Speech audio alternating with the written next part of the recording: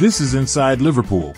Arne Slot is set to give Sepp van den Berg a chance to prove himself at Liverpool during their preseason preparations following the Premier League club rejecting offers from two Bundesliga clubs.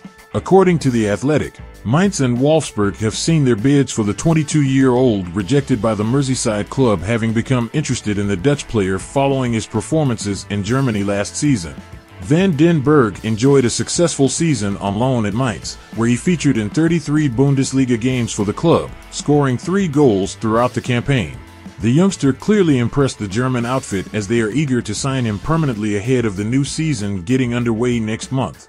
The report states that PSV Eindhoven have also shown interest in the Dutch centre-back, who is valued by Liverpool at around £20 million. Van den Berg will be given the chance to prove his worth to Arne Slot during the Reds preseason tour of the United States and after that, the player's future will be decided.